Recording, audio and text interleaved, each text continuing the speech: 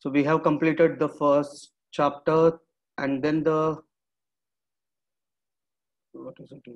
Yeah, we completed your chapter number one, revision of management accounting topics. And then we did uh, chapter number four, special cost and management accounting techniques. So today we'll do the second and third chapters. So we'll be done with the first four chapters in the order, right? So your chapter number two of the syllabus is uh, information technologies and systems for organizational performance. Now, what exactly is this chapter all about, sir? Please understand, we already discussed on day one itself that management accounting is the branch of accounts that actually deals with providing information to the management that is required for decision making, right? So that's what we discussed on day one. Management accounting is all about providing the information for taking the decisions but that decisions should not be just normal decisions. Those decisions should be informed decisions. Now what do we mean by informed decisions sir? Decisions which are taken after gathering proper information right? Now what exactly is this information all about? How do they acquire? What are the different types of information? What do they do with that information that is gathered? All of that topics are covered in chapter number 2. So without any further delay, we'll go on to the chapter number 2. So before I move to that chapter, please confirm is the audio, video, screen sharing, everything working fine? Please confirm in the chat section, guys.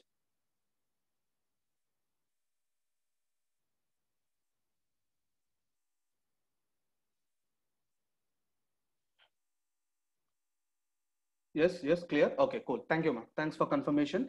So look at the summary of this particular chapter information technologies and systems this is the overview of the chapter so here in this particular chapter we are going to first start with role of information systems what are information systems and what are their roles and responsibilities? What are the costs and benefits associated with information systems? Then what are the different types of networking like intranet internet wan lan extranet all that stuff we are going to discuss about. So is it really important for us to know all that stuff? May or may not be you need not know all that information as such. You need not know what LAN does what WAN does but just knowing what they are. You don't need to know how they function but you need to know what they are so that you can suggest when you are working as a management consultant okay? And then controls what are the controls to be in place with respect to information? And what happens if information control is not there? Then what are the security protocols to be followed? And what are the different sources of information internal sources and external sources? So these are the all the topics which we are going to discuss in our chapter number two so first things first let me tell you something guys. We are going to go very fast in this particular chapter. The reason is point number one there is no numerical aspect to this particular chapter. Entire topics are only theoretical. So it doesn't make sense to have practical experience i mean sorry practical examples or all that stuff. It's it's pure concept based only. So we can go a little bit faster in that. Okay? And point number two regarding your examination perspective also not much questions are asked or tested from this area very rarely very rarely questions are tested from this area so having the information having the knowledge is sufficient for us to move forward you don't need to have extensive understanding of this particular chapter just a basic understanding would be sufficient for clearing your PM performance management examination. Okay, Chalo. so let's start. So first of all, you need to understand what is the difference between raw data and processed information. Raw data and processed information. Please understand. When you just gather the facts and figures from different sources, say from the internet or else based on market research or survey forms or you know your Google Form surveys, whatever you guys do, when you collect the basic raw facts and figures, we call it as a data. When you process that into suitable categories and then refine that data and make it suitable for decision making, we call it as information. Okay. Unprocessed raw facts and figures are called as data. Processed related information or uh, related structure being built into the data is called as information okay when you create relationships when you create meaningful structure out of that raw data it is called as information okay best example i can give you is your census data not talking about sensex markets and all censusma you know your uh, population uh, surveys that are conducted every 10 years once every 10 years the government conducts that right? Like how many people are there in your house? Like what are the age groups? Does they earn anything or not? Are they working employees or unworking? How many males? How many females? All that stuff they gather the data. Why do they gather that? So that decisions can be taken at the central level while preparing the budgets. You know annual budgets five yearly budgets all that stuff. When they prepare when the central government does that what they do is they use this particular data that you guys are gathering and then accordingly they'll take the decisions right? Now that data cannot be directly used by the central government now because you know there's just huge volume of raw facts and figures. What you need to do is you need to sort them into understandable structured manner so that governments can take certain decisions male is to female. Age group wise categorization. All that stuff when they do it becomes a dashboard which is becoming useful for decision making. I'll show you all that stuff in a uh, in some time. Just give it some time. You'll i'll show you all that practically how it works. So information is the data that has been processed such that it gives a meaning to the person who receives it all that stuff. So why does management need information sir? So please understand. Management would need information to understand what happened in the past to know what is happening right now in the present and to predict what may happen in the future past present and future. To understand what is happening all around our organization management would need both historical data and the current information as well both of them are required to predict what may happen in the future okay? And also to take short term decisions long term decisions to understand how your company is performing to compare it with other other uh, uh, companies in the same sector or same industry to compare with the national averages to plan our forecast. So for all of these activities the, an organization would need the information right? And what parties require information? So basically everybody need information. Shareholders creditors customers governments your competitors the internal salary employees of your company would need the information about the organization your uh, lenders of money bankers or debt holders everybody need information. Everybody need information. Maybe financial non-financial strategical tactical whatever information it is everybody need information. Simple right? So working definition of information is what? Processed data for which is useful for decision making. Facts that you can work with just facts facts which are useful to the production manager facts that are useful to decision makers. So this would be more meaningful, right? Information is facts which are useful for decision making. Now, before we start using a data, okay, using an information, first we need to understand whether the information is actually correct or not. You know, there is this concept which we follow in information systems called as GIGO, G-I-G-O, which is called as garbage in, garbage out you know when you put garbage inside a computer it throws out garbage as simple as that. You give wrong data to the computer what will happen sir? Whatever information is produced by the systems they are also garbage only because whatever data you have provided if it is in itself inefficient then the output that is achieved through that data is also inefficient. Systems can only work with the data that is given by the user. They cannot test the accuracy of the data that is input into the systems so we follow a technique called garbage in, garbage out. That's the characteristic. Okay. So now before we put some system inside a, sorry, we, we put some data into a system, we need to make sure that the data has the following characteristics. There is an acronym for that, which is called ACC URATE, accurate. Whatever data we are setting inside a system, whatever inputs we are providing to a system, they should be accurate. Now, what do we mean by accurate, sir? A stands for accurate. C stands for cost benefit analysis. That means cost should be less than uh, less than the benefits that we uh, get from that. Second C stands for complete. U for understandability. R for relevant. A for what is the second A again? Accessibility of the data. T is timely and E is easy to use the data. So it should be accurate. First point. A for accuracy. Uh, accuracy. So whatever data we are inputting into the system, that should be accurate, that should be correct, that should be reliable information.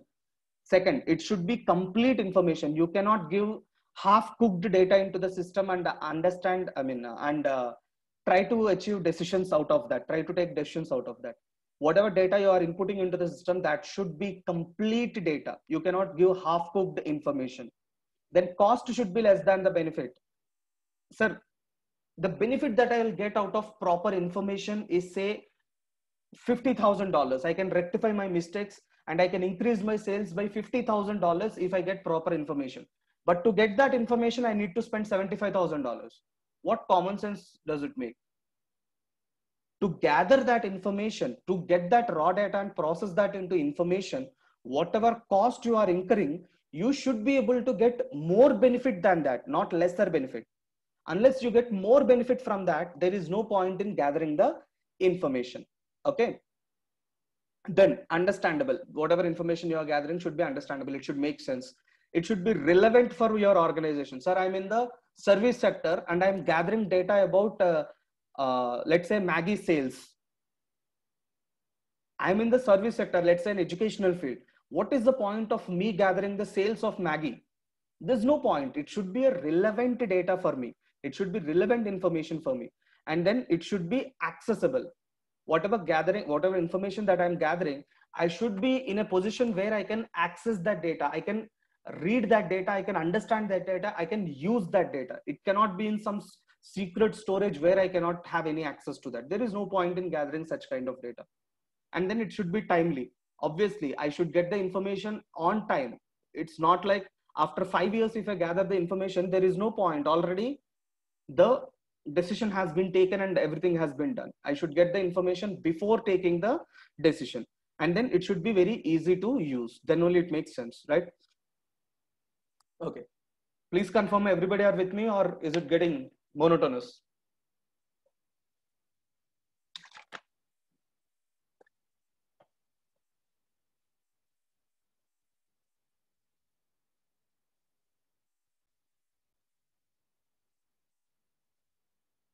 Yes, sir. Okay. Chalo. Next one. What do we mean by processing of data, sir? Very simple. You put some data into the system, some hard coded facts and figures into the system, and the system converts that into understandable meaningful information it creates the relationships between the data and understands the in, uh, data and it gives you processed information right see data processing is the conversion of the data into meaningful information perhaps by classifying the data sorting them in an order producing the total figures subtotals and all that stuff it may be either a manual process or an automated process so what are the steps involved in the processing, sir? First of all, bringing pieces of data together into one particular area, then summarizing the data in such a manner that it gives you the summary of the information. Then basic processing like putting the subtotals, totals, averages calculation, minimum values, maximum values, and all that stuff. Tabulation and diagrammatic techniques, preparing tables or else preparing graphs, pie charts, column charts, bar charts, all that stuff. Then doing some statistical analysis or financial analysis. So statistical analysis is like calculating the deviations, calculating standard deviation, or else uh, your uh, uh, what is it called um, value at risk, where or else your uh, different different concepts are there in statistical analysis. Uh, high-low analysis could be done, or else your mean median mode uh, analysis can be done. Lots of statistical analysis can be conducted. Financial analysis is something that you guys learn in every paper of ACCA moving from this particular paper now it is financial analysis is there in f5 f7 f8 f9 sbr apm afm sbl literally every paper from here onwards you have financial analysis except for taxation every paper has the financial analysis part how to understand the financial statements how to uh, calculate ratios how to interpret the given data all that stuff is covered under financial analysis Chalo, now too much uh, theoretical discussion. Let me just show you how uh, it differs between data versus information. Let me just show you with a practical example. I, I will not go to Google or gather any data. I'll prepare the data myself and I'll show it to you guys. hardly takes one minute for me to do that. So let's go with random values. Mm. Okay, I'll go with date, name of this. We'll do some sales data, which is very easy. I usually do this example a lot. We can take so much of other information as well, but anyways, that's fine. Okay i'll do a census analysis. So i'll put a serial number name of the person then um, mm, age of the person employment whether he's in employment or unemployed then uh, mm-hmm, what else can we take here? Salary range mm, male or female gender we can take anything else? Yeah that makes that should be good. Good enough right? Okay chalo. So this is some raw data sir. I'll just gather some data like this. Let me give, give me one second. Okay why just stick to 90s let's do it more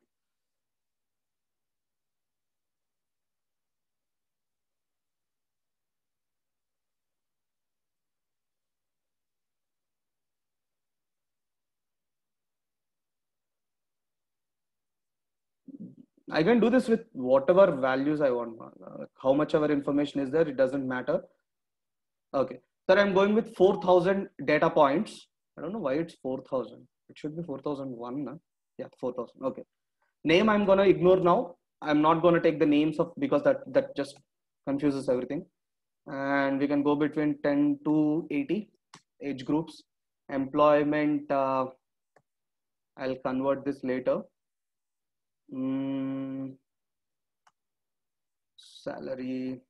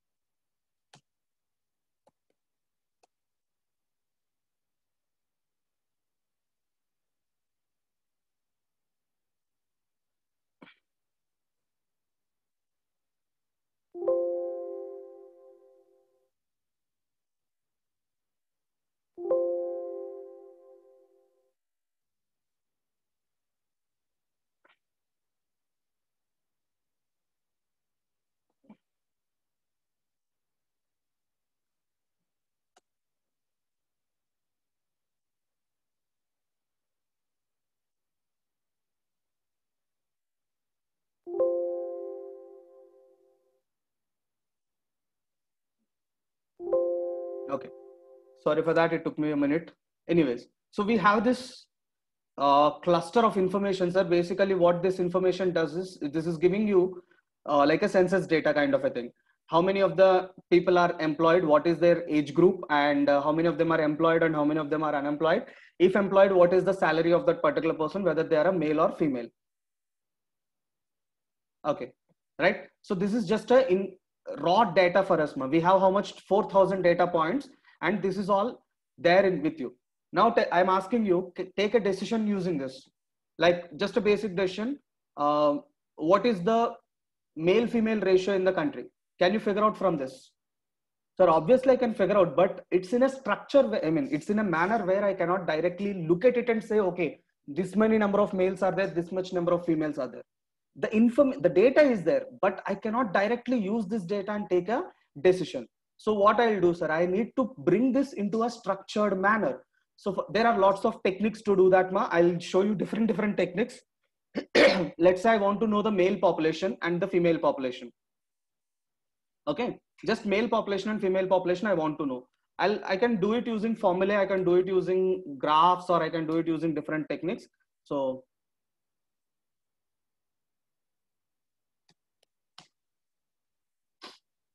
see there are 1972 males and 2028 females. I can use some formula to do that or else i can use some uh, graphs to do that. I can use pie charts or pivot tables to do that. There are lots of techniques to do that okay? Chalo. so this is the difference between data and information. This the the facts on the left side are data raw data.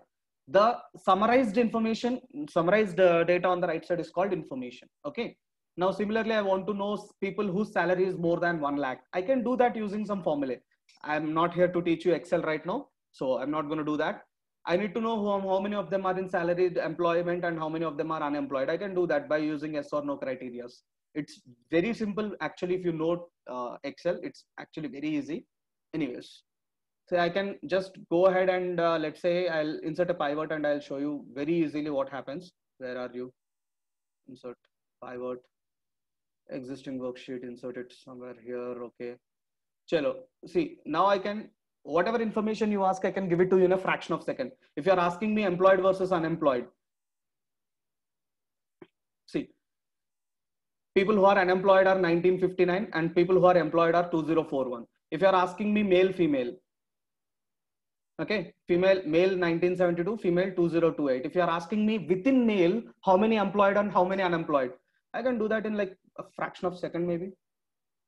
See, females who are unemployed are 1023 who are employed are 1005 so like this i can gather as much information as possible. I can even sort it into age groups you know different different age groups. Again i'll have to do an uh, analysis of this.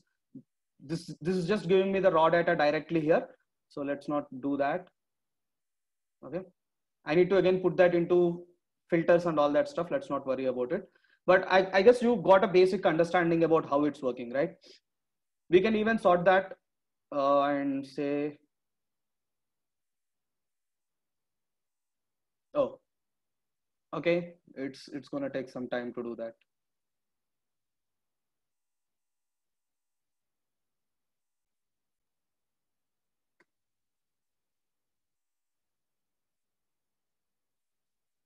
See, every 10 years age group, I have summarized it into tables here. So within males, unemployed sorry within females unemployed age group 40 to 49 you have 138 employees so what more information do you need than this? See how easy it is for us to do this kind of analysis once you know what you're doing. Okay i can even do the same thing with the salaries as well. Instead of just uh, counting the people i can even do that with salary also. Or else i can do it with an average salary for a given age group. I can put it as an average so for a given age group 40 to 49 an average female salary is 1,33,232. This is the difference between data versus information. Okay. Are, are everybody able to understand this? Okay. Chalo, let's move further. Now, what are the sources of gathering this information for the management? Sir? They can gather this information from internal sources or external sources. So when we talk about internal sources, we are talking about our existing systems, your accounts softwares, your sales data, your CRM data. CRM stands for customer relationship management. It's an entire bundle of systems. We'll talk about that at the end of this chapter. So you have accounting records, you have salary, payrolls, pay slips, attendance records, timesheets, production related information, or else financial related information. Whatever information you are gathering inside the organization is an internal information. If you're gathering it from outside like from customers service suppliers governments internet all of this is external information for your organization.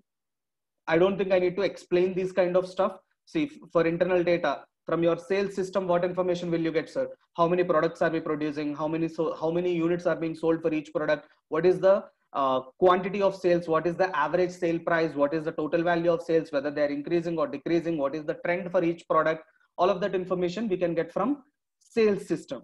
Similarly for purchases payroll system is your salaries and employees related attendance all that stuff. Then your non-current asset system how many assets are there when did we purchase them what is the depreciation what is the date of acquisition what is the useful life of that asset where is it located what is the value of that asset which method of depreciation are we using? All that stuff we'll maintain in the non-current systems. All that information is available.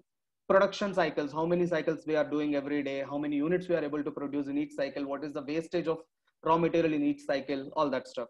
Marketing data sales data. All these are internal systems and internal information. Then if we are talking about external sources from suppliers we get to know about the prices of the commodities active uh, levels of availability of the raw material. From newspapers and journals we get from government we get tax related information or else um, compliance related information uh, all that inflation rates. Then demographics demographics means male to female ratio or else employment ratios and all that stuff ma. we get that from government information only right? Then customers data customers give you product related information. Employees give you working conditions wage demands and all that stuff banks business inquiries internet all of these are different sources of information. I don't know why employees is put under external source it's an internal source only. Anyways that's fine next one. Why do we use this information sir? For planning our processes and controlling the processes. As simple as that. Now, coming to the systems part of it, what is information technology, sir? Information technology is the bundle of hardware and software which is used in the information field. Like whatever systems we are using, whatever softwares we are using, whatever hardware equipment we are using, everything is covered under the word information technology. It's the, uh, what do you call it? The ocean of information, basically. See, describes any equipment, whether it's a software or a hardware, concerned with the capturing of the data, storing that data, transmitting that data into a information and presenting of that information as well, like your slideshows and all that stuff. IT is the supporting hardware that provides the infrastructure to run the information systems. Now, information systems is the software part of it. Actually, they, they are trying to differentiate it as hardware and software, but that's not true. My information technology is the complete bundle. Information systems is a subpart of that information technology. Information systems is only the software part of it. For example, Excel. This Excel is a software part. This is an information system. Similarly, I can consider Tableau as an information system. I can consider Power BI as an information system. Lots of data processing systems are there for that matter. Now, what does information systems do, sir? They link the organization to the customers and the suppliers. See, without this information, you are just floating around in the space like a bubble. This information connects the dots between everybody between you and your suppliers, between you and your customers, between your uh, bankers, everything, all, all the dots are connected through the information only. Without that, everything will collapse a lot. So integration of information systems to add value to the customers is a very important technique. Then it enables the organizations to develop, produce, market, deliver new products and services based on that information that we have gathered. It gives the senior management, uh, you know, the resources that are required to create and implement a strategy in our organization, all that stuffs. Now, what active, what are the support uh, functionalities or main roles and responsibilities of information systems? They support the operations through the processing and storing of the transactions, basically the data gathering part. And then it helps in the decision making through converting into information. First, data gathering and then giving the information for decision making, planning, measurement, performance and control activities and all that stuff. See, we record the transactions, we make the decisions based on the information, we use it for planning, we use it for performance measurement, we use it for controlling the process, all that basic stuff only. Again, they have to explain that also, go to hell. Okay, next is cost benefit analysis. I told you, right? So there is no point if your cost of uh, acquiring the raw data is much higher than the benefit that you can get out of it. Let me tell you some examples, sir very simple example i'll tell you. Uh, let's say we are willing to start a supermarket. Very simple example pay attention. I want to start a supermarket in one particular locality in hyderabad. Let's say in uh, road number 10 i want to banjara hills road number 10 i want to start a supermarket kind of a thing. I need to be a crorepati to do that. Road number 10 is a very costly area but anyways let's say we want to start one supermarket kind of a thing. Now i would need data. Absolutely i'll need data. And data is not available for free. There are certain survey monks and uh, there are certain uh, sources where you can purchase the data you can pay them some amount and they are going to give you the names mobile numbers email address and other stuff of the people in that particular area. How do you think you get all those messages promotional messages and promotional calls you know after passing 10th na, you get calls from uh, intermediate colleges. How do they know about your data mobile number and all that stuff? They purchase the data from your schools basically. Doesn't happen all the time but there are certain schools who does that. You know we used to get lots of calls from uh, different different uh, plus one plus two colleges after passing our 10th so our school used to sell that data to the colleges. Now obviously i need to purchase the data if I want to establish this supermarket. Now I need to make a payment to purchase that, obviously, yes, sir. So here I need to understand how much data do I need? do I need the data of only Banjara Hills road number 10 people or do I need the data of all the people in the nearby lanes or I, do I need the data of entire Hyderabad population? Based on that, my cost also will be changing, right? So it would benefit me only if I get the data of nearby lanes, maybe two lanes on that either side of that road number 10, right? Maybe eight and nine and then uh, 11 and 12. I'm, I'm not sure. Banjara road number 12, yes, it is there. Okay, so that information is sufficient for me. If I get the data of the five lanes, then that's sufficient for me. More than that is useless data. So too much information is also useless after a point of time. It just increases your cost. There is no benefit out of that because you, you do you really think people from five different five lanes after this are they gonna come and purchase in your store? Obviously no, sir. So only to an extent information is actually useful for you. Beyond that, information doesn't make any sense so you need to understand the value of information. You need to understand how much cost you can incur for that particular information and then accordingly do a cost benefit analysis, CBA. The benefit should always be more than the cost. See, look at this graph, ma, you'll understand. Up to point, see, the more and more data you collect, the more and more cost you will incur. Common sense, sir. It, it's, it's just gonna go diagonal to the x-axis. The more data you collect, the more cost you are gonna incur. But look at the benefit, what is happening. Up to a point of time you get more benefits but after a point what happens is the benefit becomes negative because it doesn't add any value to you. You're just spending money on that. You are not going to get any benefit out of that because it's too much information for you to process. So up to an extent only you can meet the benefits. The benefits are going to be useful for you. Right? So the point where your benefits and costs are touching each other stop there that's the most benefit that you can get out of it. Actually this curve is wrong ma. They just they slightly tinted it. It should have gone diagonal. So at this point it's going to dissect the benefits curve. So that is the point where you should stop it.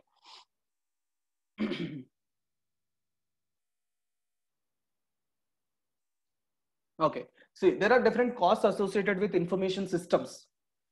Collecting the data is one thing. Cost of data is there. But what about the systems also that you need to put in place right collecting the data is not sufficient. You should have a system that converts the data into information. Pardon me. So you should have systems that convert the data into information. So there are certain costs associated with these information systems as well. What are those, sir? One is the initial cost of developing the systems or purchasing the systems, like purchasing the hardware, computers, then uh, installing the softwares in that. For example, if you go to a supermarket, they have this uh, vendor missions, right? They have this POS missions, point of sale missions.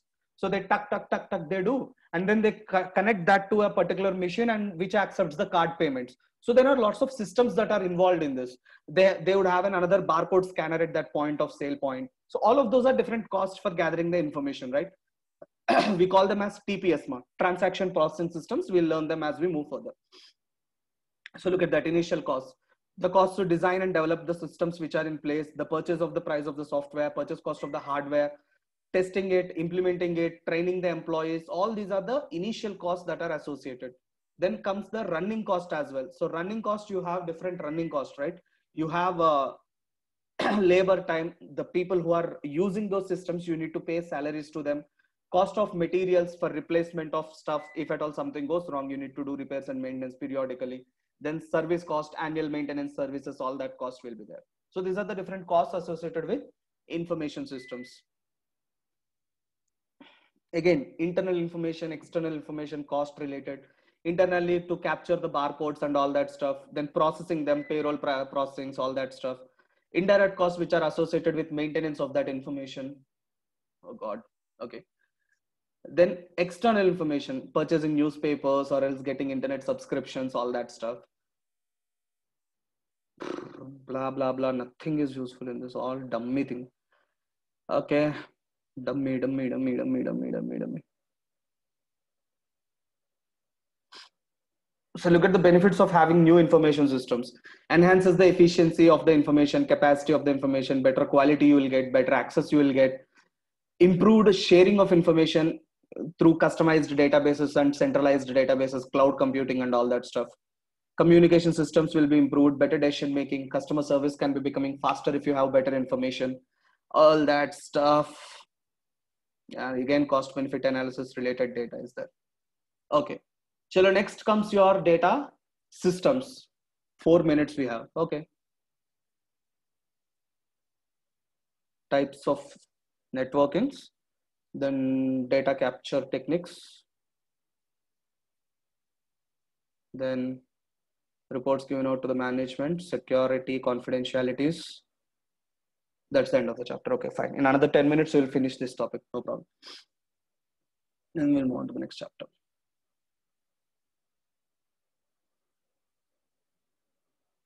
10 15 minutes lagega. Okay. So sir now coming to the networking part of it.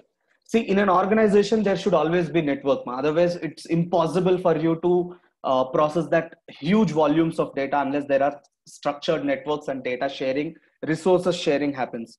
Okay? See if i go to a factory production managers uh, you know has a cabin in floor number 3 sales manager has some cab in cabin number in third floor or fourth floor.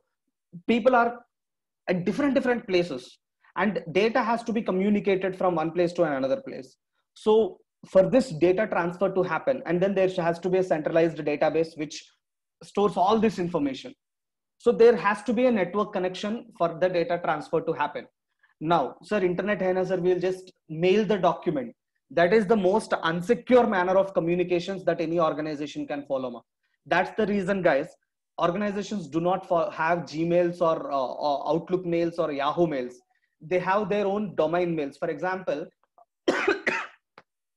see my organization Global Fin X is a very small organization we are hard, having hardly five employees i guess.